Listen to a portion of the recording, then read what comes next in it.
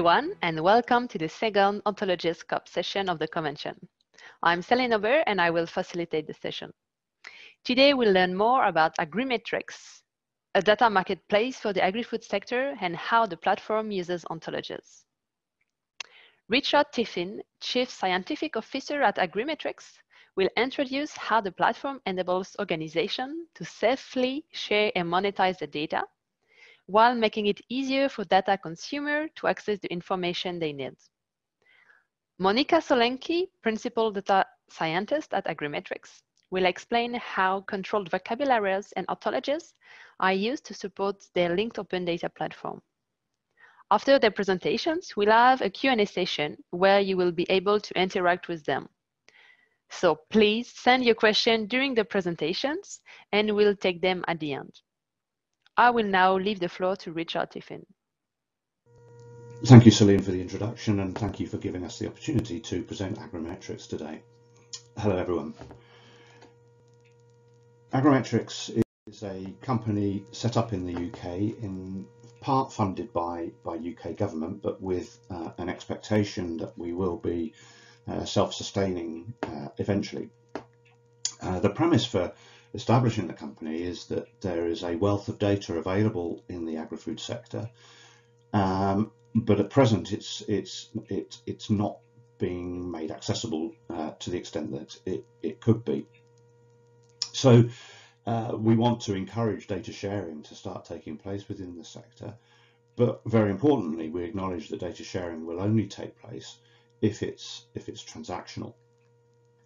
So the goal of agrimetrics is to establish the infrastructure which will support uh, uh, the creation of a data marketplace so that people who provide data can be appropriately rewarded for, for doing so uh, and incentivized to unlock and, and make that data available.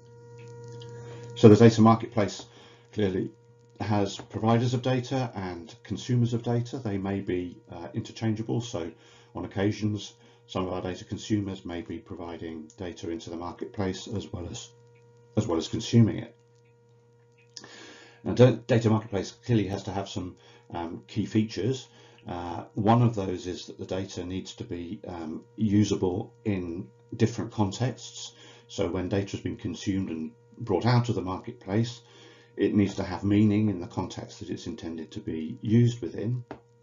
And equally, a person who's providing data into the marketplace needs to be reassured that it's only being used in the ways in which the uh, the provider has intended it to be. So people who are um, uh, providing uh, remuneration to the provider should be the only people that can can access that data um, uh, in in the market. So the marketplace at the moment um, exists in a um, in a number of different forms. In its most primitive form, uh, it looks very traditional. It's how data is being made available uh, in many different in many different um, um, locations and places. Essentially, data sets are provided in a data catalogue uh, so that the person who's searching for data can browse those data sets, uh, get details of how to obtain the data sets, where there's a cost involved, understand what the cost of that of that data is, and access some you know some basic metadata about what's in those in those data sets. However, as I say, that's a very traditional way of, of making data available and probably not the most valuable. In reality, people are likely to want to combine data from a number of different data sets, a number of different sources, depending on the use to which they intend to put that data. So for example, if you're developing a crop modeling application where you're interested in predicting the yield of a particular crop across a particular geography, you may well want to access soil data, some data about cropping, some data about the agronomy of the crop in the region that you're interested in, the weather data that uh, is relevant to the growth of the crop. All of those clearly come from different data sets, but you'd like to be able to combine those in, a, in an appropriate way so that you can then do your modeling in, uh, on the basis of a, a data set which is bespoke for that specific purpose. So to enable that, what we've done is, is uh, exposed a GraphQL um, uh, API. And in that GraphQL API, what you essentially get is a range of different tree views into the into the um, uh, more comprehensive knowledge graph which underlies the, the marketplace.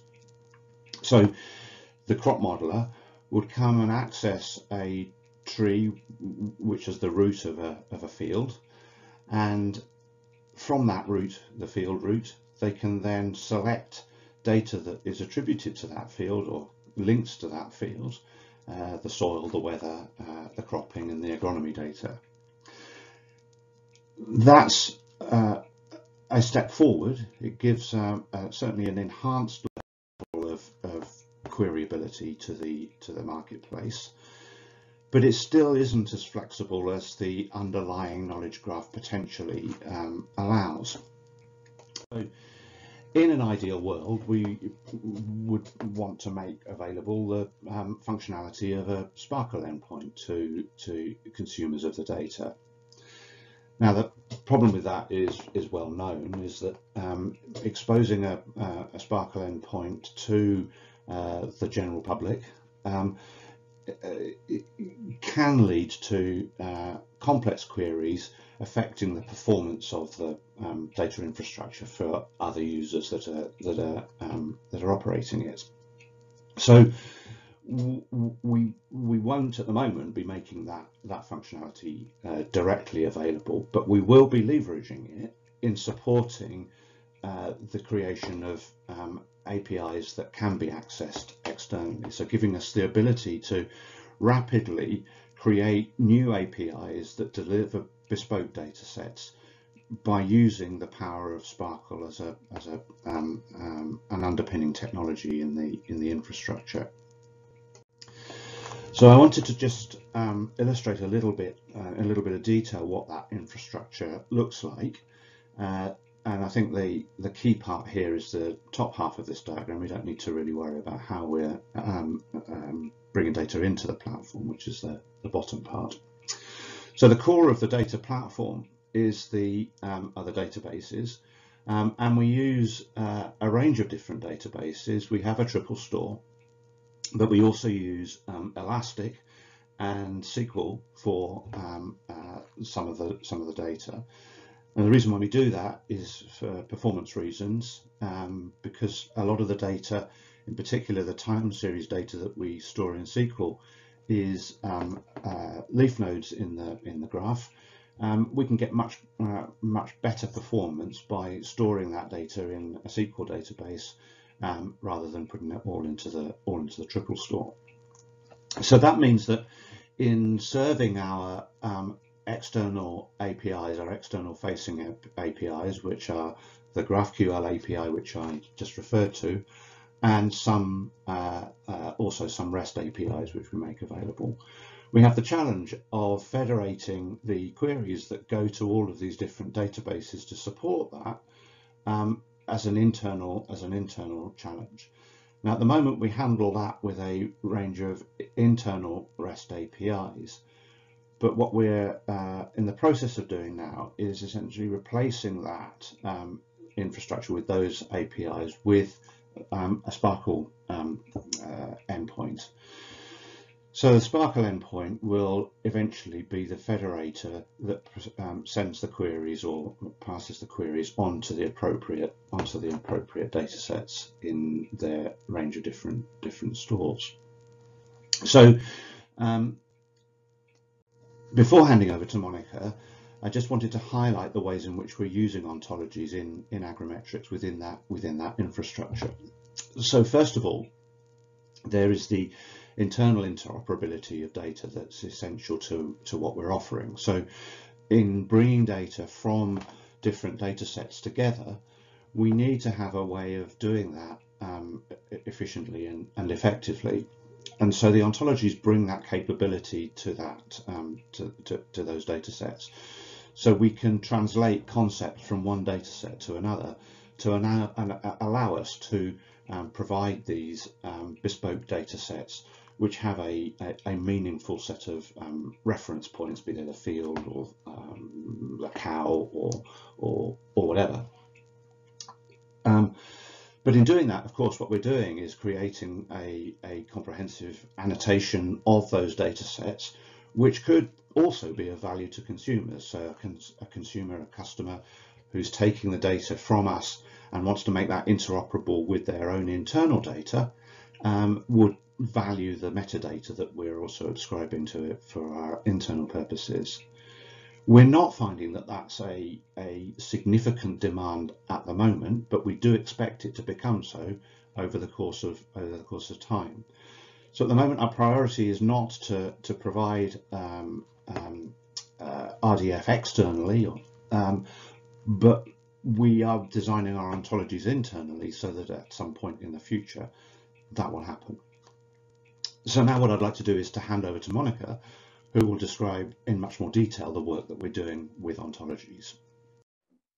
Thanks, Richard. So as Richard mentioned, ontologies are the underlying thread that unify the big data sets that we ingest on the Agrimetrics platform. Since the data sets we ingest are big data sets, our ontology design principles are governed by those. So as I mentioned, being big data driven implies that the ontology design should be simple to avoid any contradictions and conflicts in the integrated data sets. And data integration is our primary use case. We annotate data using the ontologies we develop because we want to integrate data from multiple sources. Our ontology design is guided by certain relevant, well-designed external models typical to the data set that we are modeling for. And what we do is we map those external URIs to the Agrimetrics URI. So whenever it's not possible to directly use the types or the concepts underlying an external ontology, we ingest that ontology and we provide mappings to the in-house Agrimetrics ontology for the same concept. We believe in a lightweight schema design, again, keeping the big data feature in perspective. So what that means is we avoid expressive features of OWL. And a key feature of our ontology design is its alignment with the user-facing APIs, which currently is a GraphQL API. So the idea is that any ontology design we do is uh, done in parallel with the design of the GraphQL schema that will power the API uh, that will expose that particular data set to the end user. So what this means in terms of an ontology development lifecycle. So we have data sets from multiple sources. We have uh, competency questions provided by the product manager that guides us towards the ontology design. And then what we also have are domain experts, domain knowledge, and external ontologies that all together feed into the ontology design process. But before we actually come to the conceptual model, we have something what we call as the data coverage model. So the data coverage model is an informal representation of how elements in the ontologies are linked together. Once we do that, then a validation process is undertaken with the stakeholders, which are primarily the product uh, manager and the domain experts. Um, the, with the validation of the data coverage model, we then set out to formally serialize the ontology um, in, in the OWL language, uh, which is our syntactic representation of the ontology.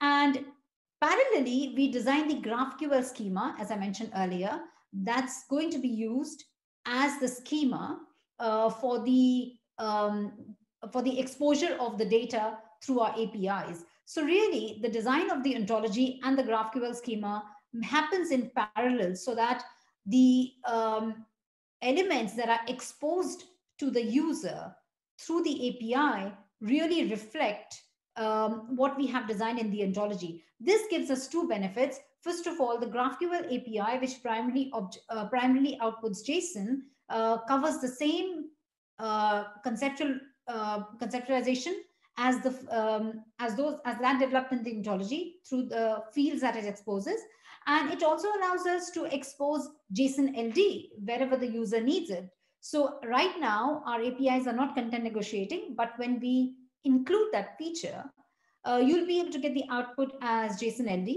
which uh, of course uh, uh uses the uh, ontological annotations from the ontology and also as a JSON response from the GraphQL schema. So as Richard uh, spoke about the catalog earlier, uh, I just want to mention some of the data sources that uh, have been uh, quite uh, paramount in uh, the design of the ontologies that we have done so far.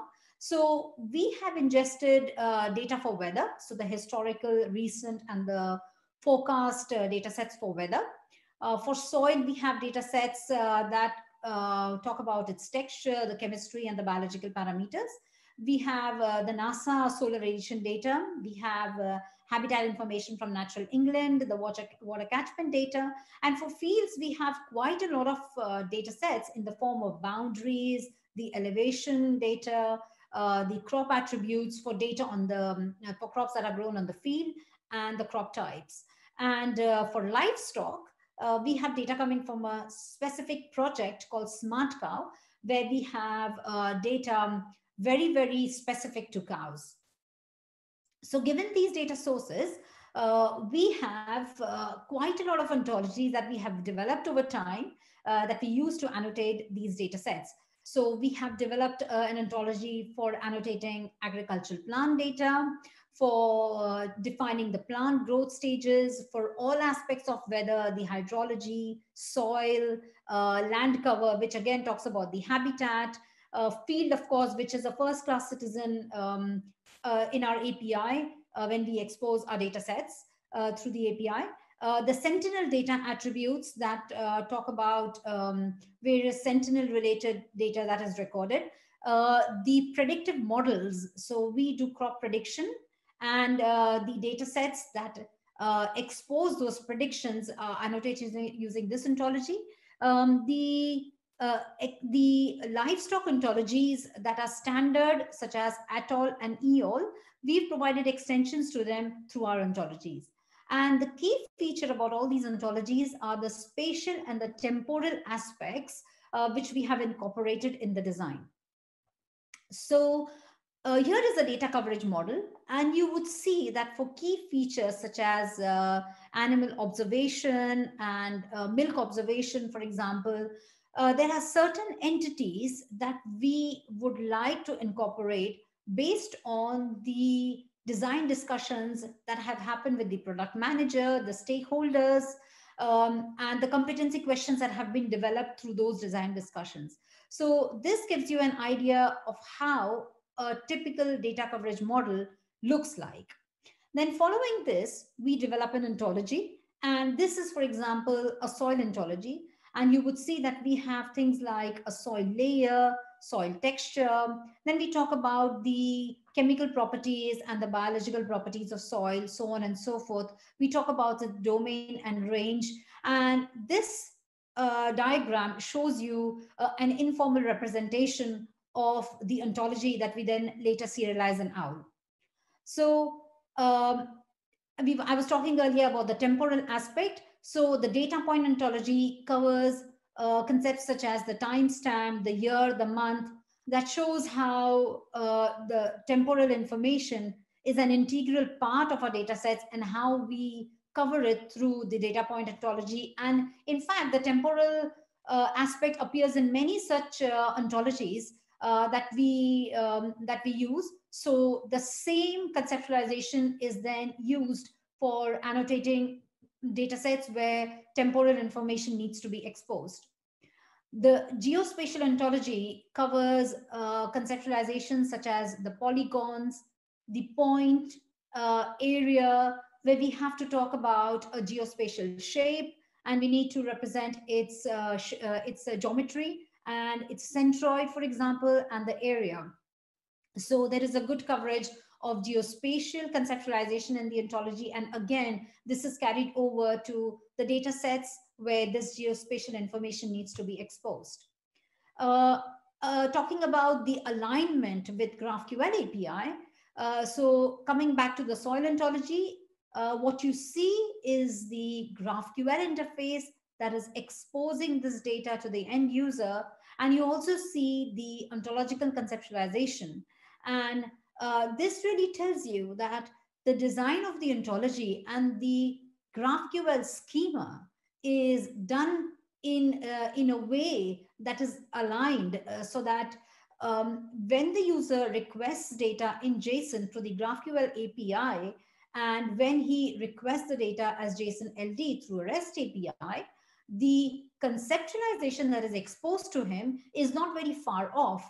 Uh, so there may not there, there may not be exactly a one-to-one mapping between the REST response as JSON LD and the GraphQL response as JSON, but they are not very far off.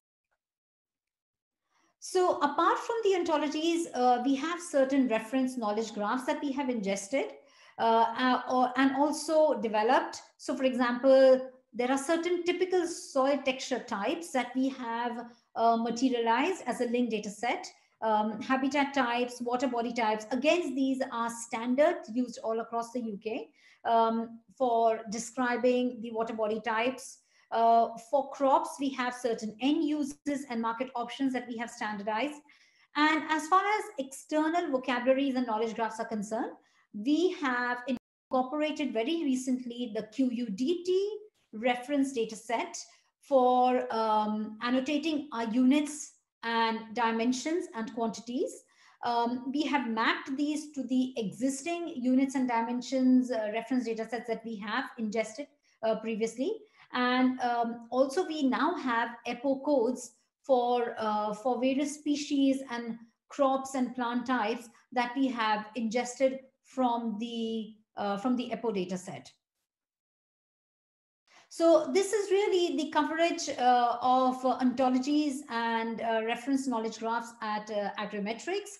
Uh, the ontology design, as I mentioned before, is uh, very simple. It's lightweight.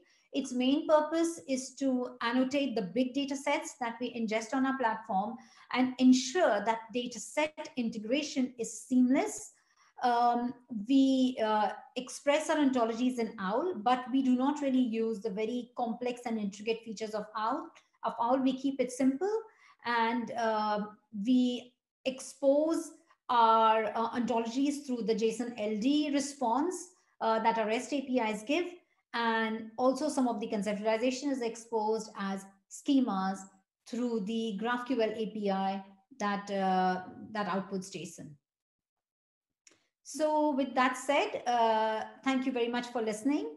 And uh, we'll be very happy to take any questions uh, from the audience. Thanks once again. Thank you, Richard and Monika, for your presentations. We are now at our question and answer session.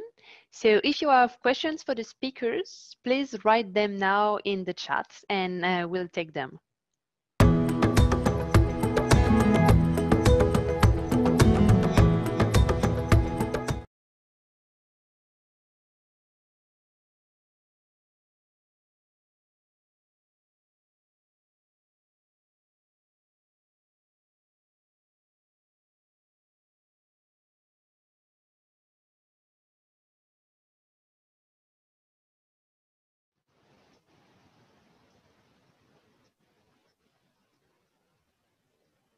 Hello, everyone.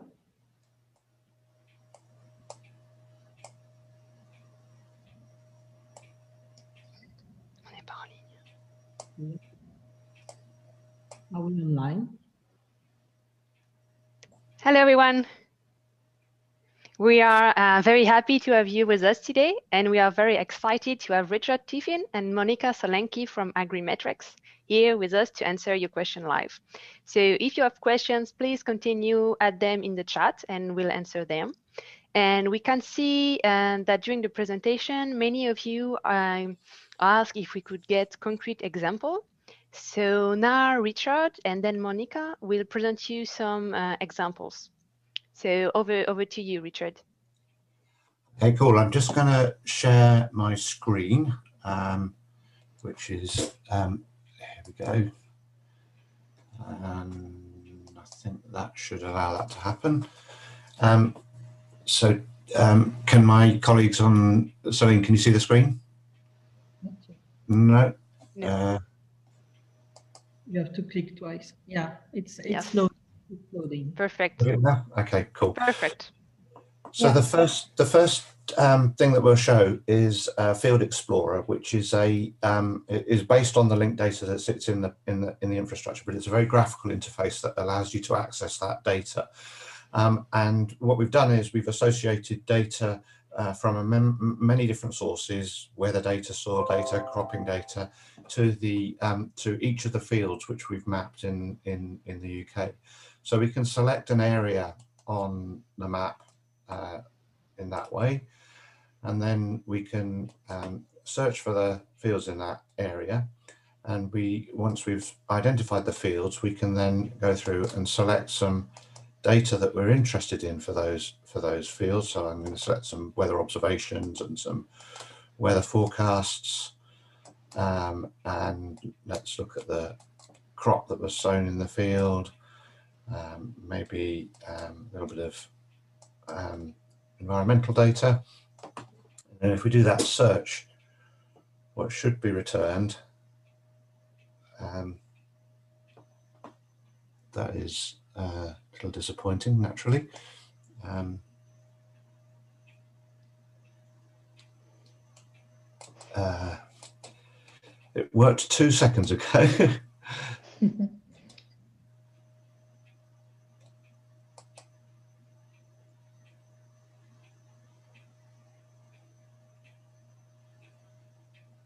It's loading. Let me do it again. Sorry about this. It's uh, the perils of live demonstration. Maybe I'll tell you what. Maybe I've chosen too big an area.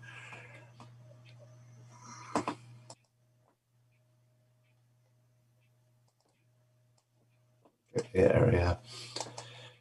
Go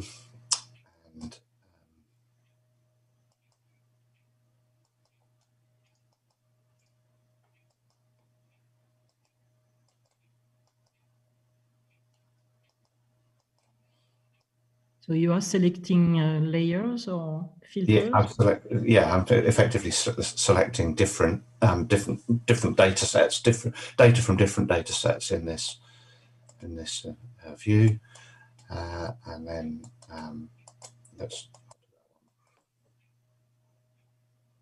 I- I've chosen too many things here. So a while Yeah. since. I-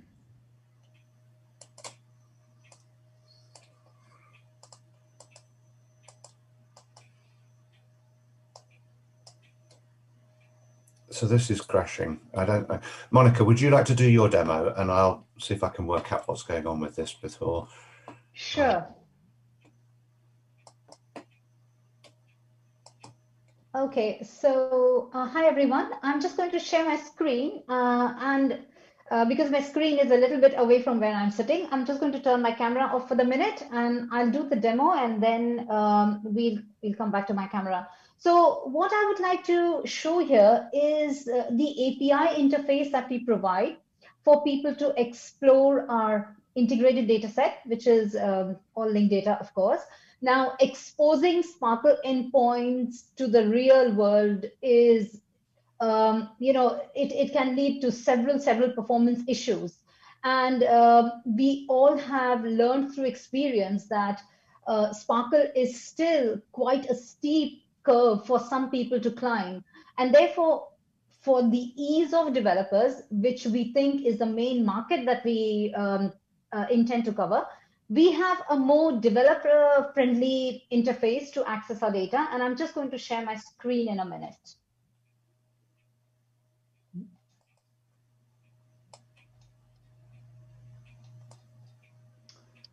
Okay, uh, can people see my screen? We do, Monika. Yeah. Okay. So what you see is uh, what we call a GraphQL Explorer. So our APIs are GraphQL powered in the sense that the schema that we use uh, to um, develop our um our API interface is our GraphQL schemas. GraphQL is a standard which is very, very, uh, you know, popular in the developer world uh, to, uh, to provide layers uh, for a, over APIs. And effectively, the structure that you see here. So for example, let's look at this query, right? So this will allow me to query the underlying data. Uh, and this is actually a query layer on top of our SPARQL endpoints. So we are querying for a field uh, which is within a specific uh, geographic uh, location. So I'm look, looking for a um, field which has a, a, centroid at this particular point. And then for this field, what I would like to know is, for example, let's say the crop. So uh, we have got uh, dataset IDs as well because all our data is available through a catalog, which we have. So we have an ID. Uh, now for the crop, we want to know the harvest year as well.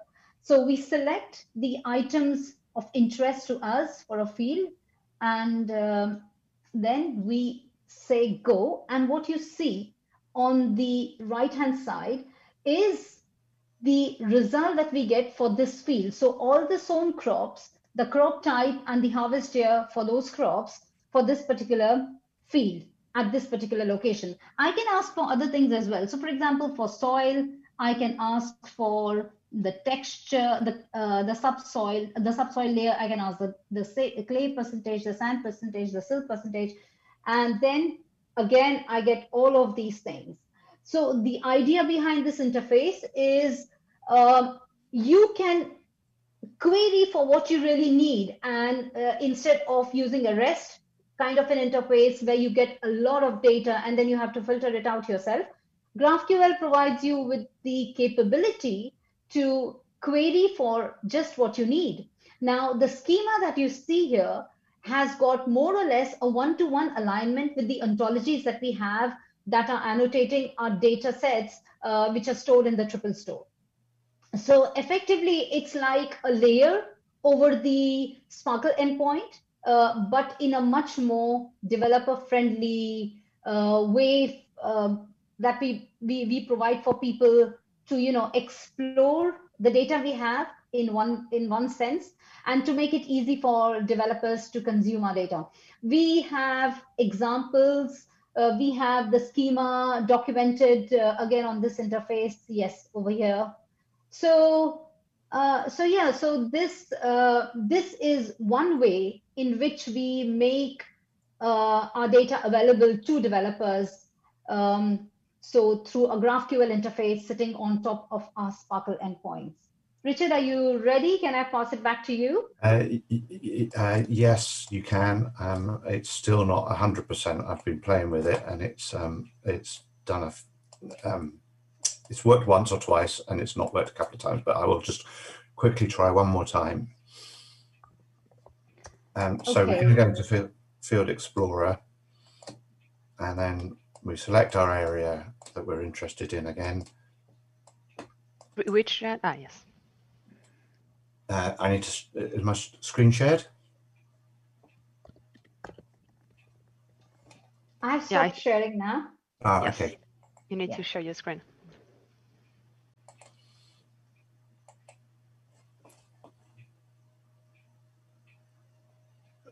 Okay, so that so I've selected an area as I did before and we click go and we're able to select some weather and some crop data.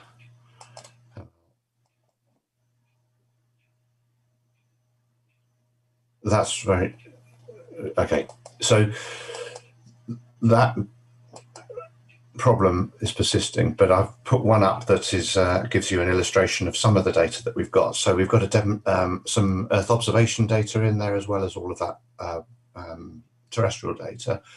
And what you see here is the data um, that we've retrieved for a particular field.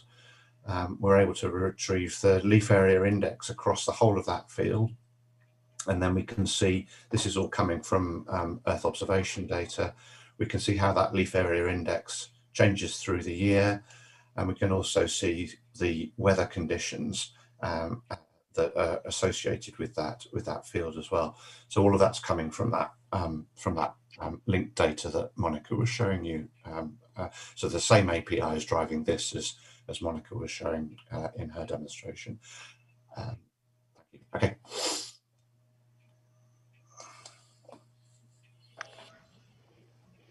Thank you very much for uh, the li live demo, uh, Richard and Monika. So um, another question from the participant is, are your ontologies and knowledge graph are published and are they available? Uh, uh, not, at the moment, they're not published. Um, so some of, uh, some of them will be published. Um, it depends at which level uh, those ontologies have been have been developed. So, uh, very specialized and detailed knowledge graphs that are um, that are or ontologies that have been developed for specific customers, we probably won't make public. But anything that we that we do at a at a much higher level that's necessary for the interpretation of the data that we that we offer, uh, we will be making that that available um, and we'll make it available in a number of different ways. So one of the things that we didn't show you there was a, a data marketplace sort of visualization, which allows you to access individual data sets as um, separate entities. And so some of those ontologies will be made available. Um, and I believe actually there are some there, there have been some put there in the last few weeks. Uh, they will be made available in that in that space. So, so yes, they will be made available um, uh, to a degree, um, and uh, you can start to see some of that happening now. Yeah, and just to add to Richard's point, uh, some of, apart from the ontologies, of course, we have reference data sets. For example, we have re reference data sets for EPPO codes. Um, we looked around for an RDF serialization of the EPPO code data that was not available. So now we have done the task of ingesting um, EPPO data and uh, serializing it into RDF and making it um, available through the data catalog. So any valid subscriber of a data catalog uh, should be able to see the EPPO codes. And uh, going forwards, we'll, we'll be doing a lot of these kind of reference data set ingestion and making them available through the marketplace. So these knowledge graphs, which are standards um, which are used across the industry will be made available through the data marketplace, through our data catalog. And Thank you very much.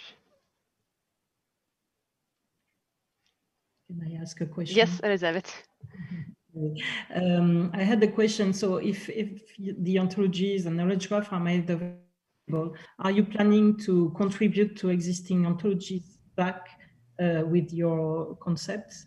Uh, because you developed a, a, soil ontology, for example, or you, you've been using uh, ATOL. So uh, do you have any plans to also contribute to the public ontologies? Well, actually, um, it's a very good point you mentioned, Elizabeth, about ATOL, because we have already extended ATOL um, with some conceptualizations that we did for the work we did within the Smart Core project. So that is already available, uh, the extended conceptualization in ATOL. But also very recently, we did some work on extending QUDT because QUDT is this reference data set stroke vocabulary for, um, uh, for units and dimensions and quantity kinds. And there are a lot of units uh, which are not in QUDT at the moment, which are very specific to the agri-food sector. So we have introduced those units and we will be writing to QUDT with those units so that QUDT can make it a part of their wider catalog. So we are enriching the domain knowledge in this sector uh, in a very standardized way by contributing to the uh, already open source existing movement in this area. Thank you. Nice. Celine? Yeah. And uh, how can you use ontology design when dealing with real-time data? real time does by real time do you mean streaming data or data which uh, which changes frequently I would say streaming data, I suppose. Uh, the question was asked by uh, an attendee, but uh, we cannot give the floor to them. So unless uh, Abdul Shattar Abdullah, you, you, want to, to precise in the chat, but I would say streaming data. Uh, streaming data, the, the, the, the problem with streaming data is because we don't know the nature of the data, any annotation we use for it has to be uh, coming from a very high level. So we could probably use some upper level ontologies. So the design pattern there would be to use conceptualizations from upper level ontologies to annotate the data which is streaming, the nature of which is unknown, which could be messy, incomplete.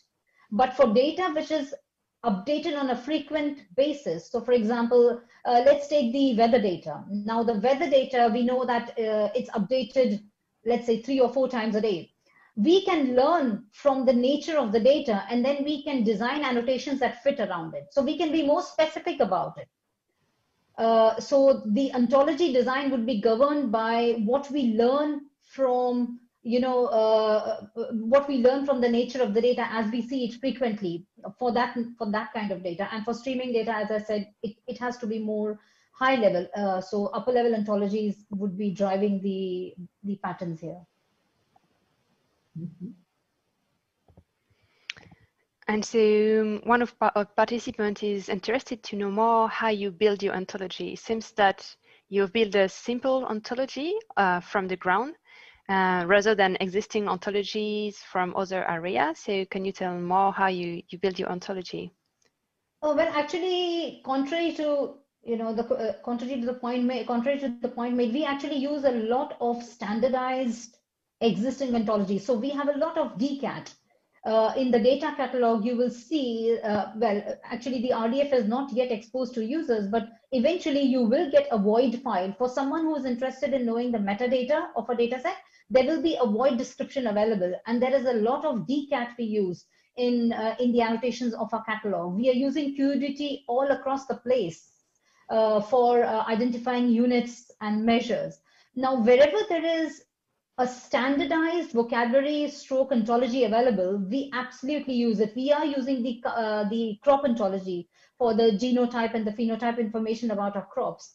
So we, we have uh, we are using a lot of uh, existing vocabularies. Mm -hmm. Having said that, we have deliberately kept the design of our ontology simple. There is not a lot of expressivity in it. You won't find existential restrictions, universal quantifications, uh, you know, transitive, symmetric, uh, functional, those kind of assertions in our uh, in our ontologies. Because the idea is, if you want to integrate data that is which is our primary use case we want to bring in data from multiple places so that you get a more uh, rich set of data for any particular thing in in in this uh, in this space so when you want to do data data integration the smart thing is to keep your vocabulary simple so that downstream when someone picks up this link data set and integrates it with other data sets they have there are no inconsistencies there are no incompatibilities there are less conflicts to deal with so it's a deliberate decision to keep the design of the ontology simple.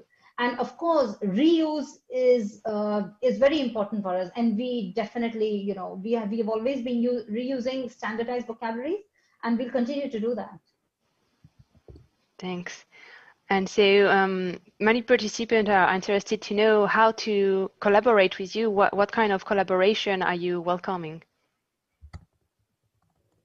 Richard, um, do you want to take that? Yeah we're, we're interested in all sorts of collaboration. So we're an organisation that, as uh, I said in the presentation, is funded in, in part by the government. Um, we sit between academia, research organisations, and the commercial and the commercial sector. And I think that gives a number of different ways in which we can we can interact with people. So, firstly, we can be a, a service provider. So um, uh, we we can offer data uh, we have academic subscription rates for, um, for accessing the platform. Um, we can also collaborate in, in research projects. Um, so uh, that could again be uh, an opportunity to access to access data through us, but also to work with you in um, expanding our data um, uh, holdings um, and, and the data that's made available through the data marketplace and also to do more fundamental research in, in, you know, in developing the ways in which we structure and organize, organize data. And I think one of the really, really exciting things, so my background is in, in universities. I have a, a, a chair at the University of Reading. One of the very exciting things that um, it being in organizations like Agrimetrics uh, presents is it, it, it removes the cliff edge at the end of research projects. So we can start to think about um, early on in a research project how that uh, output of that research project, and in many cases that could be data, but it could be insights, models, and so on, how those can transition into a more commercial setting within the research project. And we're very interested in engaging with with with um, uh, researchers in delivering that kind of that kind of um, insight as well. So so so if you if you want if you've got thoughts about collaborating, if you're interested in what we're what we're doing, then please do uh, get in touch with us um, after the after the session, and, and and you know there there are many opportunities that we can potentially discuss. Perfect. Thank you very much, Richard. So we'll be sure to share your, your contact in the chat so people can get directly in contact with you. Thank you very much to Richard and Monika for your presentation. And thank you all for participating to the session. And we'll make sure to answer your question in the chat for the one that have not been answered uh, during the live question. So this is the end of the session. Please uh, continue exchanging in the chat and now uh, proceed to, to the next session. Thank you very much.